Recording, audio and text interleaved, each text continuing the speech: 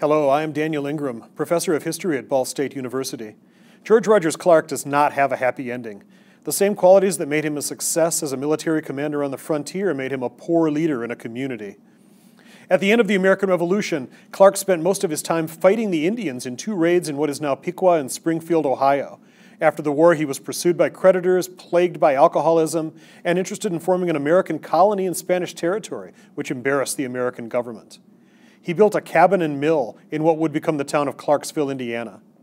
His younger brother, William Clark, traveled with Meriwether Lewis in the Lewis and Clark expedition on a trip following the Mississippi and Missouri rivers, crossing the Rocky Mountains to the Pacific Ocean and back, as told by the diaries of Lewis and Clark. He suffered a stroke and moved across the Ohio River into the home of his sister's family, where he died.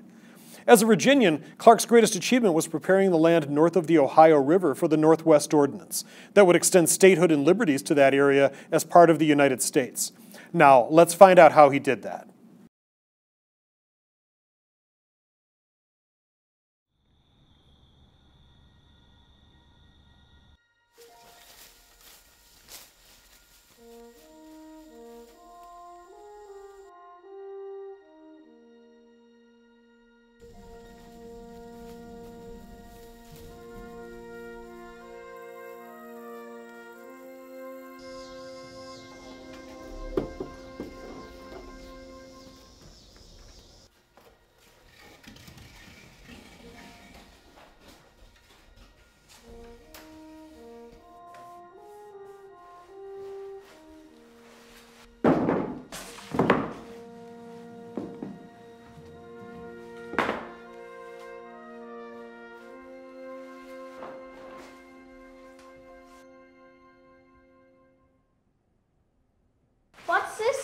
David?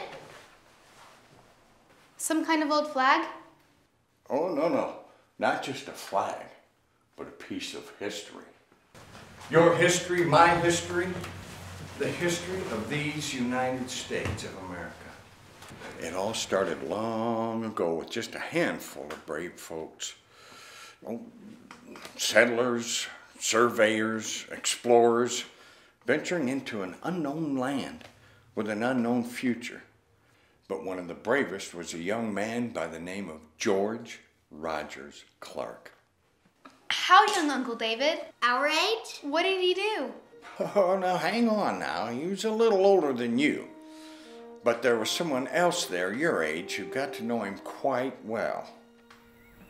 At the age of 19, George had traveled widely throughout Kentucky, Ohio, and Indiana.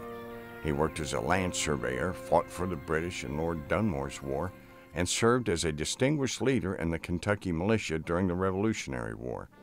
George Rogers Clark's military success helped officially end the American Revolution. But his victories were not without their losses. Later in his life, George would suffer his own defeat. But he didn't do all these things right away. A lot had to happen before his achievements could take place.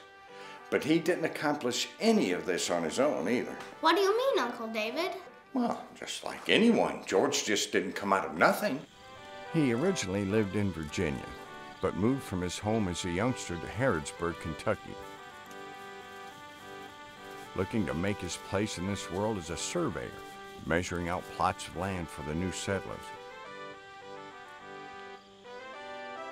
Back then, Kentucky wasn't even settled, but folks were looking for a fresh start and heard Kentucky lands were some of the finest.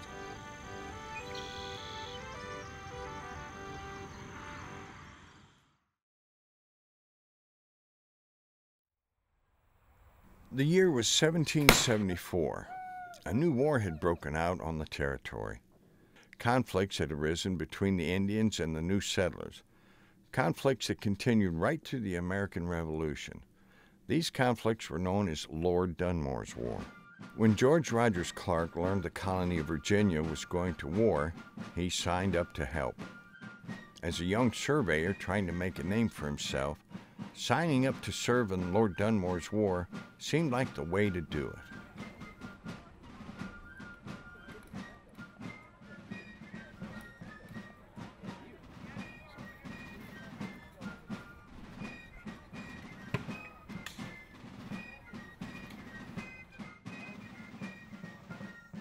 Without ever seeing a major battle, this was the beginning of Clark's military history and would eventually lead him to become a good general and a great leader.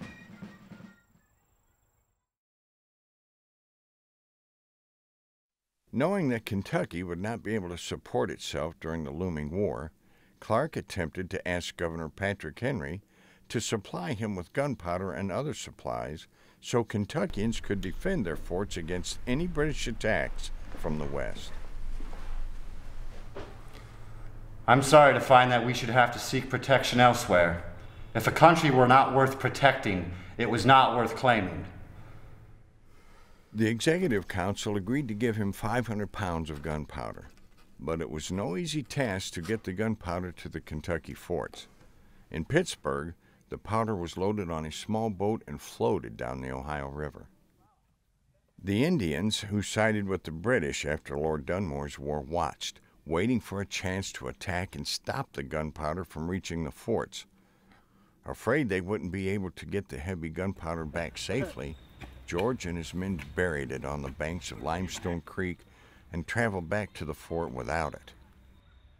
Later, some settlers went back for it, but were discovered by the Indians who had been watching, and a skirmish broke out. Several men, husbands and fathers, died on both sides, but in the end, the settlers got their kegs of gunpowder. The next year, 1777, was terrible for the people living in the frontier settlements of Kentucky. The British commander, Henry Hamilton, encouraged Indians to menace the settlers. The people strengthened defenses at the forts as best they could. While men prepared to defend the stockade, women and children got ready to take care of any wounded and help make bullets. But George was determined to do more than just defend. He concocted an ambitious plan of attack in order to increase the territory of the new nation, gain access to the Wabash and Mississippi rivers, and with any luck, ease the threat of Indian attacks. George again traveled back to Virginia to share his plan with Governor Patrick Henry. Governor Henry made George a lieutenant colonel and issued secret orders to capture British forts along the Wabash and Mississippi rivers, just as George had hoped. You ought to take especial care to keep the true destination of your force a secret. Their success depends upon this. With his new orders, George quickly traveled back to Kentucky to make further plans and began to gather an army.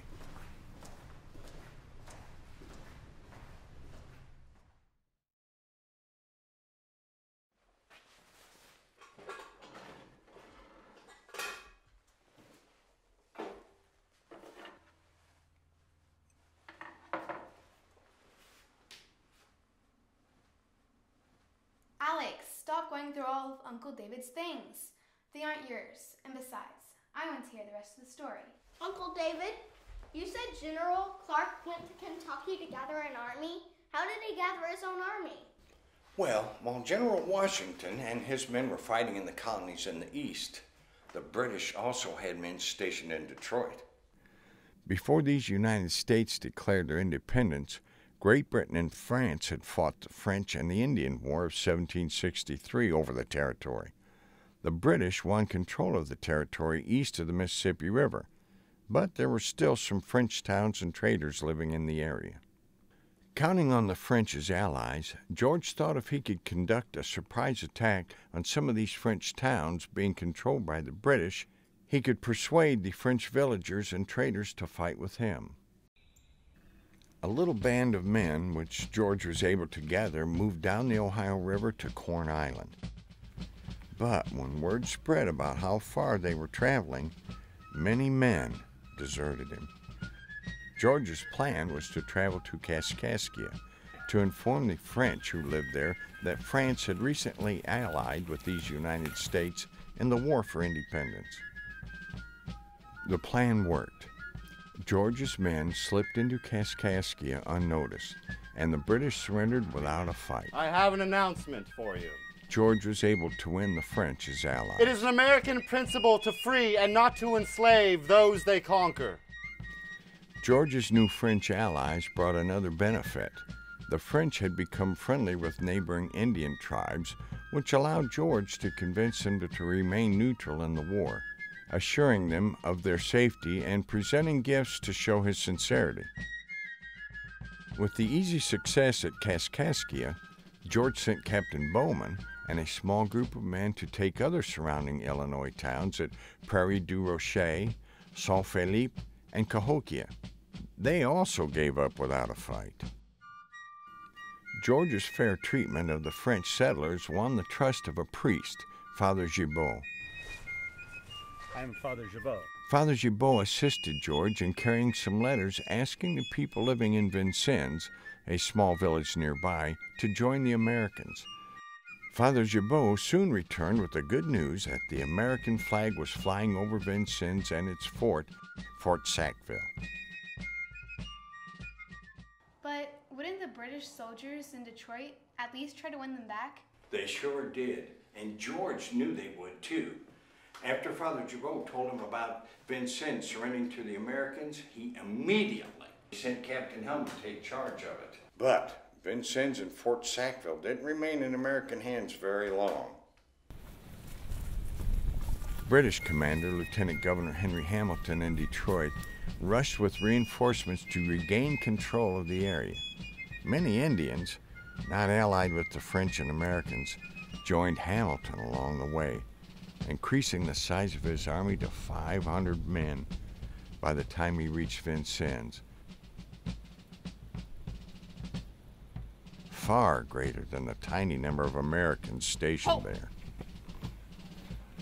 Sir, is this an honorable surrender? Yes, yes it is. There was nothing to do but surrender to Hamilton. Arms up, men, we're surrendering. To the front!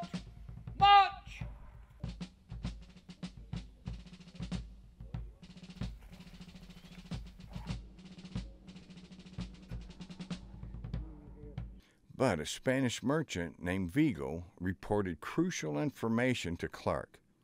Vigo had been captured by the British. But because he was a Spanish citizen, he was considered a non combatant. Hamilton released him on the condition that he would not do anything to harm British interests on his way back to St. Louis. True to his word, Vigo traveled to St. Louis before returning to Kaskaskia to inform Clark. Vigo informed Clark that the British were repairing and strengthening the fort. Before long, Fort Sackville would be too strong to be recaptured by a small army. George would have to move quickly to have any hope of reclaiming Vincennes and Fort Sackville.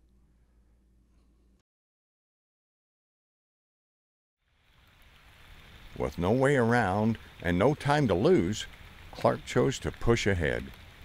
He ordered the men to build canoes to keep their baggage and supplies dry while crossing the river. But unfortunately, there was not enough room for the soldiers. They had to march through the freezing river as the waters rushed up past their waists to their chests. The soldiers did their best to stay cheerful. Even though their food supply was running out, they were constantly cold and wet, and some of them were suffering severely from exposure. But a young drummer boy traveling with the army didn't lose hope. This brave boy kept the entire company amused with his drumming. With nothing else to entertain the men, the rhythm of the boy's drum pushed the men forward, helped them forget the cold, and reminded them of their purpose. At the deepest part of the river, the boy could no longer march. So he put his drum in the river, climbed on, and drifted on it like a boat. The men roared with laughter, but it was a proud moment for the boy. He was only your age, but he was helping to rally the troops and keep their spirits up. In the evenings, the men searched for higher ground to set up camp and rest. Stopping for the night gave the army time to cook a simple meal and to attempt to dry their wet clothes. But when they reached the Wabash River, the Willing, along with the desperately needed supplies, was nowhere in sight. After waiting for several days, there was no more time to waste. Knowing the icy waters and lack of food and supplies that would now challenge the men to their limits, Clark encouraged the men as best he could, telling them they had to reach Vincennes or the new country could lose control of the Ohio River Valley and allow the British to attack General George Washington and the Continental Army. In a desperate attempt to inspire and persuade the army to continue, Clark smeared gunpowder to blacken his face as war paint. Then he plunged into the icy water of the Wabash River, cheering and shouting. Sure enough, the men followed. After two days without food, a total of 18 grueling days of marching roughly 180 miles, despite the dreadful conditions, they finally caught sight of Vincennes on the afternoon of February 23rd. By dark, they had made their way into town and taken up positions close to the walls of the fort. The British, still unaware of anything,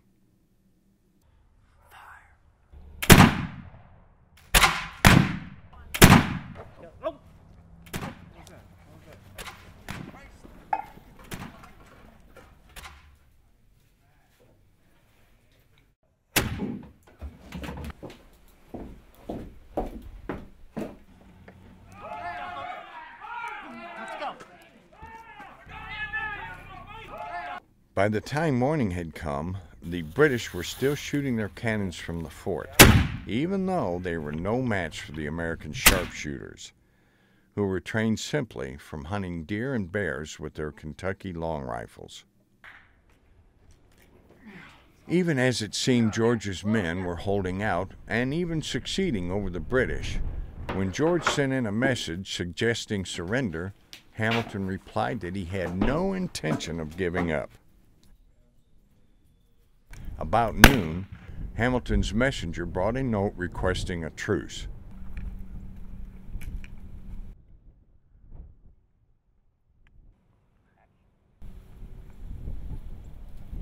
Colonel Clark, fine to see you again.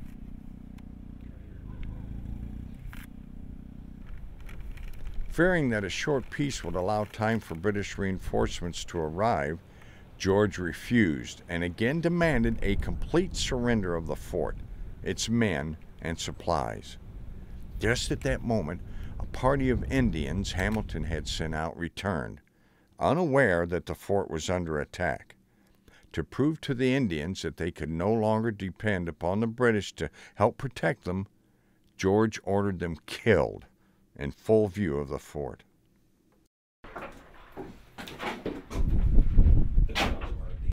Stunned by the initial attack and the killing of the Indians, Hamilton finally decided to give up.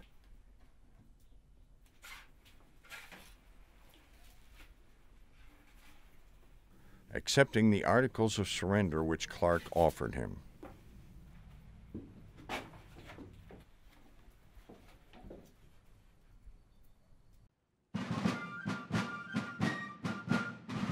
Promptly at 10 o'clock the next morning, February 25, 1779, Hamilton and his men marched out of Fort Sackville. The British had sent relief forces, but when they learned of the surrender of the fort, they turned around and went back to Detroit.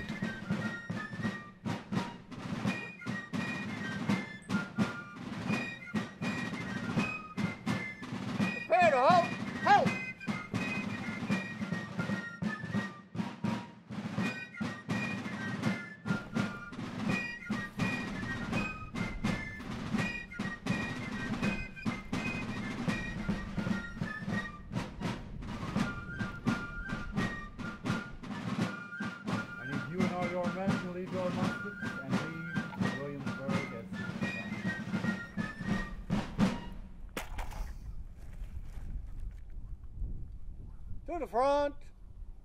March.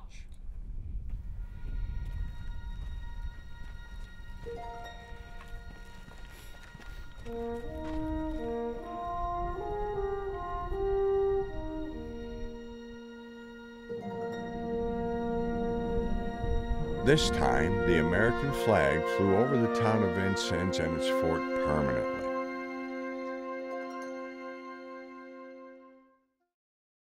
Some things we may never know, such as who was that drummer boy? Sometimes it is fun to think about what might have happened. For example, what would happen if George Rogers Clark had attacked Fort Detroit after capturing Vincennes? What do you think might have happened? Some things we do not know, such as was George Rogers Clark ever afraid that he would be captured? Was he interested in being married and starting his own family? How did he feel about the Native Americans that he met and dealt with? Those would be things that you might find out more about by reading Clark's diaries and letters posted online by the Indiana Historical Bureau.